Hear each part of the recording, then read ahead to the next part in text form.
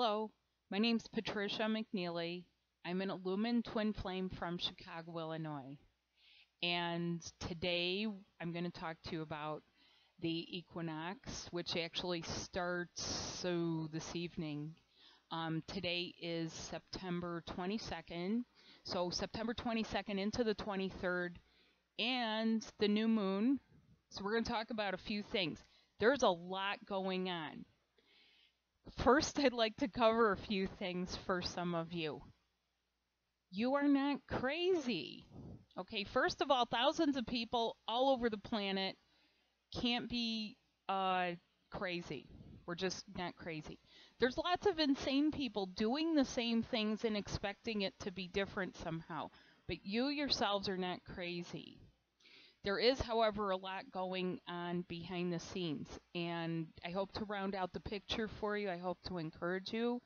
Also, we are in the divine timing, and uh, I knew about a week ago, I've actually known for some uh, weeks and actually for months about some of the timing and the way of this.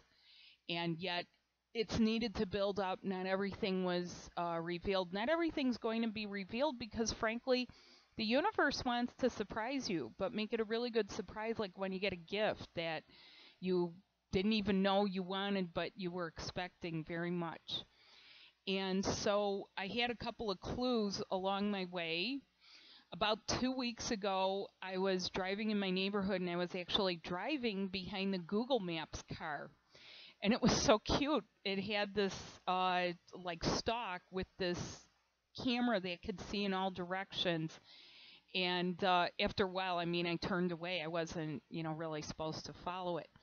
But it was that was like clue number one. Clue number two, because I kept saying, "Yo, I, I need to order a world map or something. I need a globe or I need something to let me know. Um, I, I need to show the positions for some of this and this is what I found. I found actually a bouncy ball. This is a bouncy ball. And it's the world. Right at my feet on one of my morning walks. And so I. the universe just has a great sense of humor. And that's another thing. This is not a cosmic joke.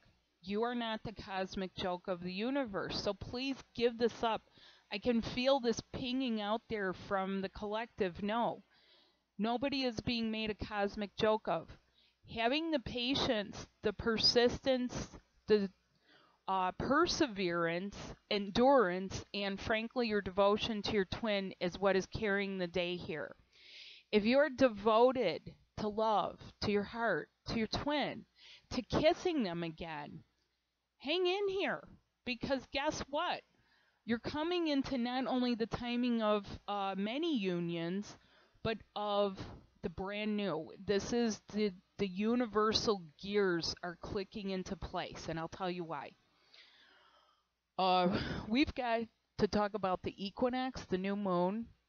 We are transiting out of the old and into the new, and this is a vertical transit. There are entities here that are helping with this and they are what I would what I refer to as divine counterparts. And by all means any of the definitions I use these are just my words. They're not the official words or terminology. There's some of this there's no vocabulary for. What I call divine counterparts are those people who do not have uh, the same uh, separation in uh, in their union and they are actually united vertically. Their soul is ready to pull them up and out of here. Other people who are twin flames, particularly those of the blue ray, Illumin twin flames, have had some extensive, deep, heavy soul damage. And some people say, Patricia, how come you're never talking about the dark stuff? And I'll tell you why. It's because it, it's becoming a distraction. Take a look around and look at all the stuff. And, you know, turn on the news, turn on any of the stuff, or don't turn it on. Because the thing is, is that is distracting people from their own ascensions. And there and many people are well aware that they're distracting themselves from the things that they need to do. And that's going to begin to stop. That's part of the shift out of the old and into the new. They will stop doing old things. Those old things will no longer bring a measure of comfort. They're not fulfilling.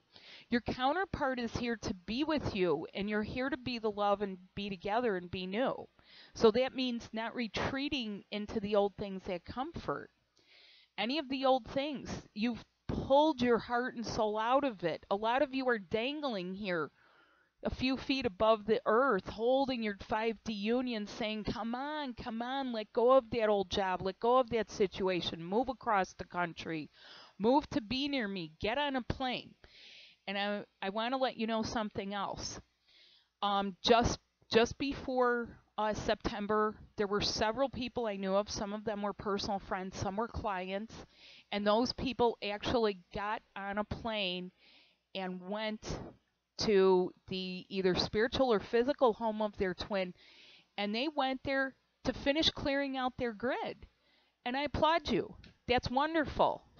That is huge because many of you helped collectively and for your especially for your individual unions to jump some timelines. And um, as many of you know, I do readings and I do sessions. Well, in these sessions, it's been getting where these timelines are just accelerated. You know, it, it's going from telling people, well, your union out on the energy field, out on those circling timelines, feels like a year from now, and now we're in months, and now we're in weeks. And there's a big acceleration effect here. But it's going to catch a few people by surprise, like this stuff always does. Why? Because this is not just some spiritual thing or some new age thing or a concept that gets relegated to once a week or to a meditation group. This is a 24 7 slamming in your face, body slamming, physical connection to everything and you are here to get supported by the universe. You're here to be new.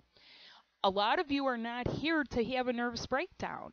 And so if you feel like you're having a nervous breakdown, get out into nature, let some of it dissipate. Some of that is coming over from your twin because they're either in a position where the stuff is coming off and it's not really um, they're not dissipating it properly or they're trying to do it in old ways that comfort. And that's not going to work, but there is going to be a shift here. So um, some of that shift is going to be happening with the equinox, where this is the great equalizer. In the summer southern hemisphere, it is going to be winter into spring. In the northern hemisphere, where I live, it is going to be uh, summer into autumn. And so you have this effect going on equal day, equal night. And in fact, in some of the uh, tropical zones, it's a little bit different. And it, up near the Arctic Circle and the Antarctic Circle, it's different. And that's because of the Earth's axis. Okay, so you have several things going on here. You have the rotation of the entire universe, which takes about 4 billion years. You are crossing the galactic ecliptic, so that is sort of like, well, there's like an equator. The, the galaxy also has an equator, like a middle point. And we're, we are moving through that. The other thing is that um, the Earth itself, let me get my globe again. The Earth itself rotates on an axis and that axis rotates once every 26,000 years. And we are at that, we're in that range here where that is uh, very, these are all very natural cosmic cycles for propelling these personal ascensions, planetary ascensions, and um, the evolution. So our personal evolution of all the parts of us, so all of your five to eight bodies, you've planned for evolving this right at this point. You're right here. Now, there are groups of people that did ascend and merge 8,000 years ago and 11,000 years ago. And some of the same things that are happening now happened then. Let's start a war. Let's oppress people. Let's go backwards on marriage equality laws you know, let's kill certain people. And let's terrorize other people and let's, you know, not the love in these certain gates. Now, a lot of you, like me, if you're a Blue Ray Illumin Twin Flame, have some uh, other abilities. Who you are, who your vibration is, enables you to not only be the love, but to fire the grid, to resurrect all your bodies, and also to be um, uh, grid point guardians. What that what does that mean? You know, like what does that mean at the human level? Well, what that means is that some of your wishes that you put into motion, you know, they they start to make these changes because you are the conduit. Your physical body is the conduit. And how did we become these conduits? Guess what? We have eaten things here. We've invested in ourselves, uh, not just you know financially. We have blood on this earth. We our blood is made from the earth materials. We have been pierced, poked, prodded, um, died here, buried here, and we're pretty much of this earth. But a planetary ascension requires us to really be deeply embedded. Guess who has done this uh, in your union? It is the masculine energy. So the masculine energy is deeply embedded, and he's like clicking up and out of this. That's this time now. So hold steady. If you are the feminine counterpart in your union, hold steady. Don't be angry. Don't be saying, oh, you know, why did he do this or that? You have to be like, this person has been through a lot because if you look at their entire um, the evolutionary process here, how much time it, it's been. And you're actually doing a twofold thing here. You are throwing away all your old stories, all your past lives, all of the trauma with each other, all of the drama with each other. And you're getting rid of it now. And so as you come up to each other and you're going to encounter, only a twin can trigger out the rest of the stuff that needs to go. And trust me, I know some of you have twins that are quite good at triggering things. I get it. But when it goes, make sure it goes. Don't sit there and scratch your head and go, well, game over, game over. I, am out. I'm throwing in the towel. I, I just don't know what to do. No, that is when you hunker down inside and you dig a little deeper and you find out what is that core issue. Now, if you don't know, there are people out there, myself one of them, other people that are gifted and equipped at a high level to read the multidimensional fields and help get some of this gone, uh, assisting you with some of the information so that a lot of you can do this yourself.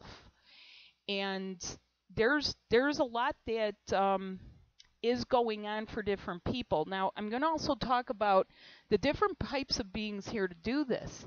You have divine counterparts, which I just described, and they're helping with this ascension, and also here to receive the brand new templating and their uh, template for 5 through 12 D Union. You have the Blue Rays, the illumined Blue Ray Twin Flames. And yes, uh, for those who have asked me several times, the Illumined Angelic Twin Flames are the original Source Love twins. We are the ones capable of holding the highest vibration of light and love. And the blue is is um, that's the ray that we wrote in on. We are blue rays. So we are the highest vibrational, highest vibrating twins. Does that make us better for worse? I don't know. A lot of us had a lot of damage and they wish we could get out of here. My personal wish is to, yes, get to the fifth dimension. But every time I said to my guides, I said, this can't just be for a bunch of light workers. I mean, come on. I mean, this is has to be a promise. Like, otherwise, what's the divine if it's not for everybody? and I would have at different times. I would go to different uh, things. Like you know, one time I went to this uh, group thing, and I'm looking around, and I said, "Where's all the African American people? I mean, it, this just can't be for certain groups of people." And bingo, I started meeting them, and I knew. I knew, I knew, I knew. I'm like, this is for everybody. It's just not for select groups of people. And you're going to see a swap about that too. You're going to see people in the corporate world um, or in, you know, maybe they're mechanics or they are um, athletes or something like that. Some of it may be very apparent to you as you watch public events or you see people getting in trouble publicly and you might be like, ooh, that person is tripping through their stuff. They're going through their ascension symptoms. Or you may see couples that are public couples, and yes, some of those couples have public agreements. They are twin flames. But you might see them like, ooh, that one has some kidney issues. Ooh, that's twin flame thing. And you'll know. You'll know. And if you don't know, don't worry about it. But some at the very least, some of that you can look and say, Ooh, that's a really glaring public example. I don't want my union to be like that. Well, what do you do about it? And maybe you do the opposite. And not all of those people are aware. So, no judgments. There's unawake people and there's awake people. But the darkness is leaving. And for a lot of you, especially the Blue Ray Illumin Twin Flames, in order to do this and fire up your grid, you are you have had the bulk of the darkness. It's it's been sent out and transmuted. The other types of beings, there are people, or what we call people, but entities as high level angelics who have, yes, been to the new earth and are going back and forth. And I've had the pleasure of meeting some of you, and I myself also have been. I have one recollection of going there. Now, a lot of this has been characterized by having a complete blackout of your dreams. You don't remember what you dreamt. And it, it just seems like you're out, like you're out cold. And you wake up, you're aware of, you know, some passing of time. You wake up and the sun's coming up. Complete blackout, though. You can't recall anything. And that's what a lot of the traveling to the new earth, because when you do merge and go with your beloved, you will be able to pull those memories through the density. And so um, my higher self has been referring to those people as the twins of the gold ray of the golden sun. This is Earth in her um, taking on the mantle of being the new 5D central sun of the fifth dimension. So it's no longer Alcyone, it's now Gaia. And the violet rays and the silver rays. So these are the primary groups right now going through their ascent and lighting up the wave of love. Um, this is requiring a lot of people to have the emotional fortitude, the stamina, and the endurance. A lot of you have built this up in other relationships and in many other lifetimes. You're ready for this. Be the strong entity that you are be the strong angelic that you are. I I'm going to tell you you're in the tail end of this. Call on your stamina, call on your endurance. If you truly, truly, truly need a break in the action, and I'm, and I'm going to share this too. For a lot of us, there is no break in the action. This is not a flipping the switch type of thing. It's a constant, and you got to pace yourself with it. You're constantly going, you're constantly going, you're constantly going. And this is when you call on your endurance, and some of you are doing this by sheer endurance. It's the only thing that's getting you through in the devotion of your heart. And for some of you, the only thing you're able to ha- hang your hat on is your belief in love. Because what you're seeing at the human level here, it's not it's not floating your boat and you're saying, I don't know how this is going to happen. You have to be like those little kids that expect a gift. And you have to keep testing, okay? If if you keep pulling your twin to you, keep on, you know, strengthening that connection because you are with them and it's going to get easier and easier. And I have already had reports back from people who, yes, have been with their twin and or have great conversations, or they they do know that they're completing large parts of their merging at night in their own bed, maybe not physically together. And that's another thing I want to mention. There's no distinction between people who are with their twin or not with their twin physically. Some of us are doing it the opposite. Some of us had to prepare certain things so that those people could be with their twins. And some of those twins who are together are hand, are providing other things for when those other twins come together. So there is an orchestration here. There's not to be any judgment about well that you know that person's not in their union and so uh, they don't know what it's like to be physically with their twin. Well, honestly, some people who are physically with their twin don't know the relationship skills or the coping skills to be and live with another person.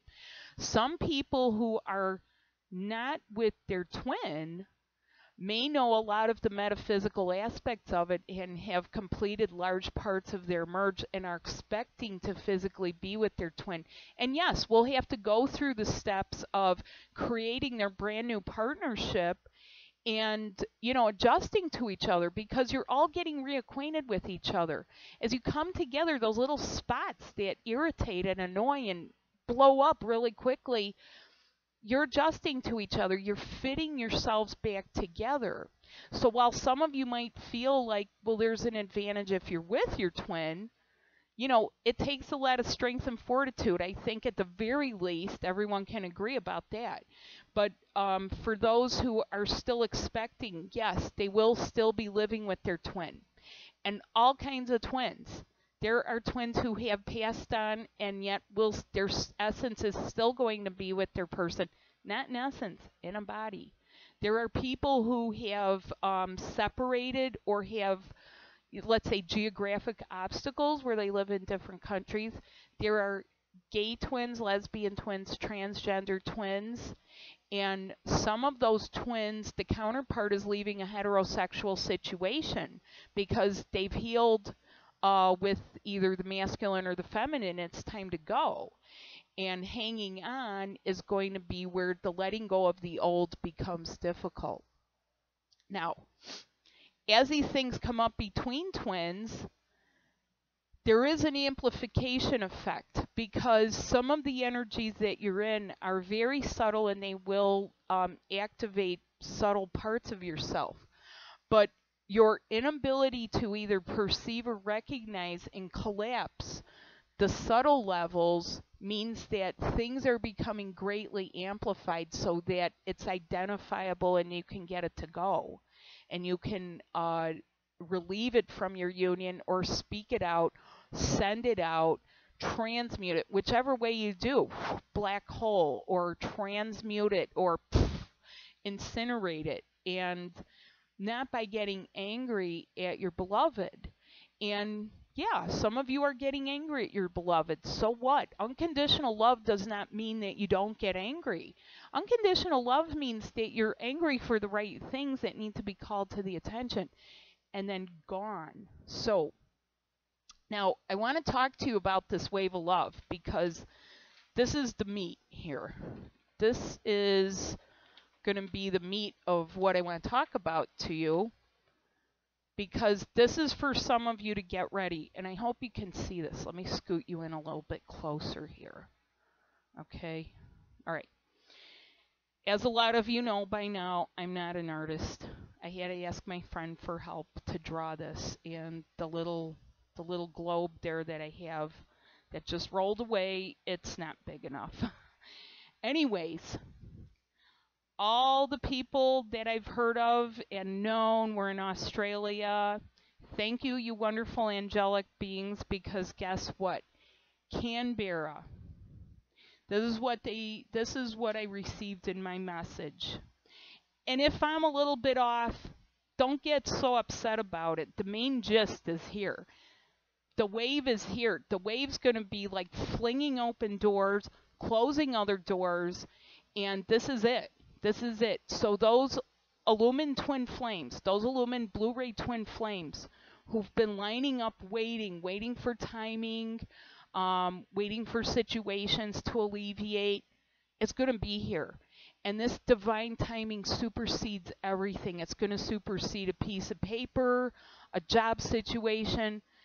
your soul's just going to merge itself back into one because it's time and fire the grid. So here's here we go. Okay. Um, Canberra, Sydney. I did also get Perth, which I realize is over on this end here.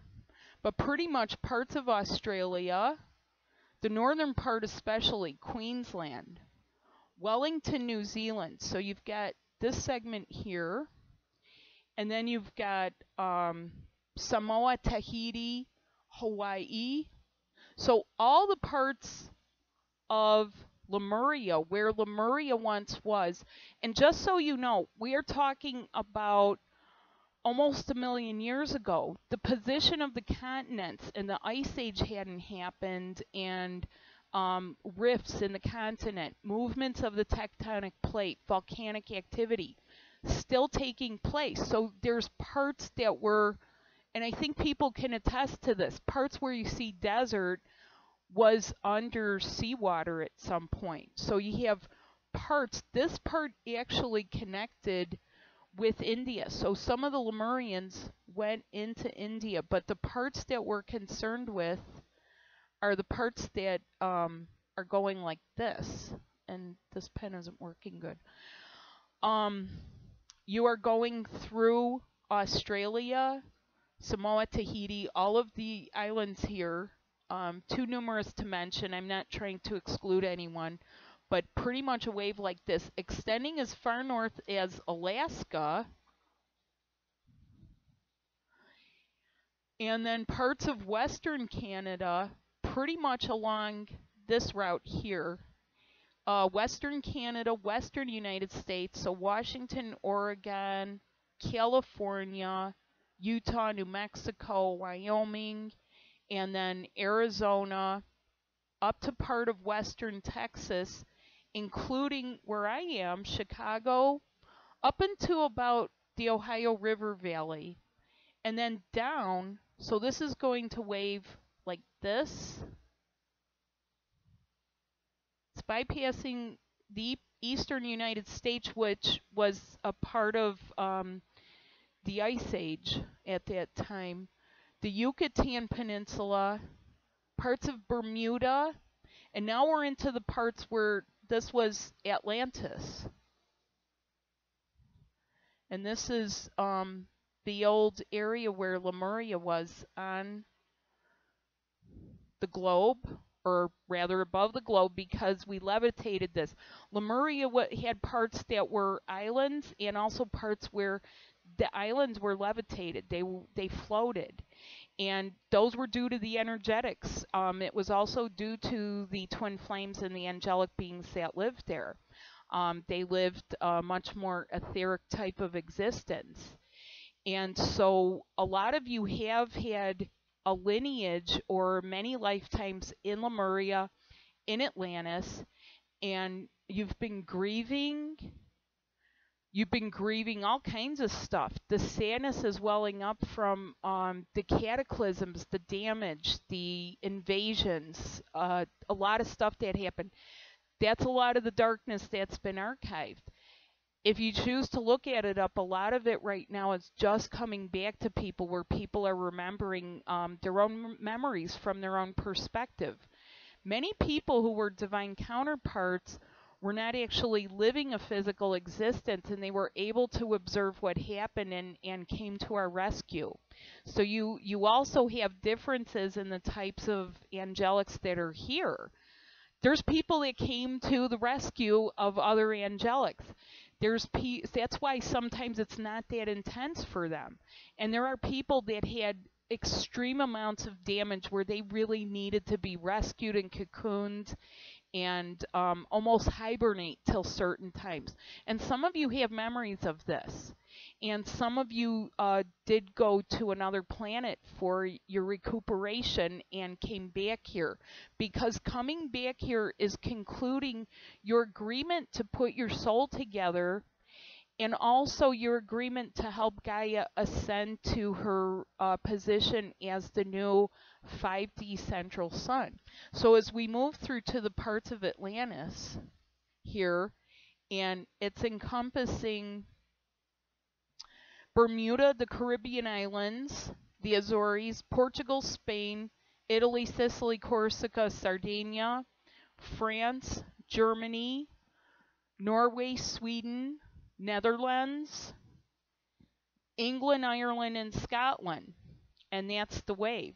Now you'll notice I didn't mention um, Switzerland, and that actually was uh, covered with ice. It wasn't populated by people from Atlantis at that time. So there was a, a migration of when everything went down to go this way and into Egypt. And for the Lemurians, they went to India and they went to the western United States and formed the cultures that are uh, became known as the Native Americans. And so um, this is actually also evident in anthropology and actually geology. If you look at some uh, stones, or you, they dig up stones from certain time periods, and you can actually see delineations where the pressure was on, where there was either intense heat or intense uh, some kind of pressures. And how are we doing some of this ascension? We're being pressurized. No kidding. You're in the pressure cooker. The heat is on, and you um, also physically have had aspects of the uh, temperatures, either the chills or fevers, um, things you're burning off, things that you're integrating. And this is a very physical ascension. So I like to round out the picture for you and tell you why some of this is happening and what's happening. So those people in Australia, you very strong angelics and flinging off that old original anger because that's what it was described to me as back in late February, earlier March. One of my guides said to me, Australia will release the first anger, and I, in some ways, didn't know what that meant at the moment. But if you think about it, being shoved, shoved off, shunted under, um, disenfranchised, uh, your rights taken away, etc., etc., and actually, um, this has done a full circle here because, yes, there were people that either colonized there or were put in penal colonies, and there's there's some heaviness there. But the people from Atlantis prepared, and Ayers Rock was a sacred point. There are crystals there. But guess what? Here's the difference. You, in your union, as a merged couple in your grid point, you are the new sacred points for the earth. So you are quite literally lifting off, and you're having um, you're having sort of this um, effect where there's uh, circles of people in and around your area, and if you're in the center point, if you're in the center point, and this is your union, and you're one of the first Illumin twin flame couples, and you actually fling open the door for the other twin flame couples and there's this upliftment. There's also source love coming through you, through your physical bodies, out the molecules of your body, the very subatomic God particle level, vibed out to everywhere. And that's how we're doing this, simply by being the love, putting yourself together, merging, lots of hugging and kissing, feeling the passion, and I heard some of you. I have heard some of you, and you're saying, this isn't romantic. Why don't you make it romantic? There's nothing wrong with courting your twin. Be romantic. Get them a card, get them a flower or something like that. Some of you have. And it's not just on one gender or the other to do that. Be free. Take the limits off. Get yourself out of the box because it'll be what you make it. And the other thing to bear in mind is that um, a lot of people hear about divine alchemy. Bear in mind that the very first people that are doing this are the divine counterparts and the blue ray illumin twin flames and violet uh, illumin twin flames. The rest of the people are waiting for us to fire the grid and fling open the door. Some of them have been angry that you know, not enough people got their act together to do this, but it's been difficult. But I still will say to you, this is the timing. You're in the time now. You're still in the divine time of this, and it's going to happen. This is happening. It's going to happen across the globe. This is what I received. I want to share this with you. I hope that you enjoy um, really becoming reacquainted with your twin. Be new, be natural, be willing to overlook things. Don't allow things to digress if you come near together. Um, be each other's friend, and everything should go well for you. And you know, if you hit some bumpy spots, because even some of the alchemy, the divine alchemy, there's some of you are doing this and you've been doing it through sort of a trial and error system. You're putting yourselves together. Be persistent, be gentle, be patient with each other. You're fitting yourselves together again. There's still other parts of you that are going to open. So for this part, you know, like if you have 30 chakras open, guess what? You're going to have 100 open until you're just one big ball of light. That's the direction of this. That's what makes it difficult to map it out and I'm going to do another video covering some of the new connections which some of you are struggling with and it's just going to be informational for you to know. I will have another webinar to come out. Um, thank you to everyone who has had a session with me. It's been great. I mean, there's lots of information that comes through the sessions, not just this, and the timelines have been phenomenal. So um, remember that when the doors get flung open and other doors get closed, sometimes it means fasten your seatbelts because some of the people you perceived as being asleep, guess what? They're going to wake up. And some of them may need you. Some of them may need my services. Some of them might need someone else's service. So be open and willing and don't be afraid. Uh, we're all in this together. The message of Twin Flames is make love, not war. So no fighting about who's with their twin, who isn't. And thank you so much for watching. I hope you to have a wonderful week because as we head into October and those next set of eclipses, there's going to be more. So the timelines look really uh, wonderful for love from uh, this equinox to the solstice. And there's a lot more that's going to come because everyone's here for something and everyone's bringing something to the table. Thanks. Bye now.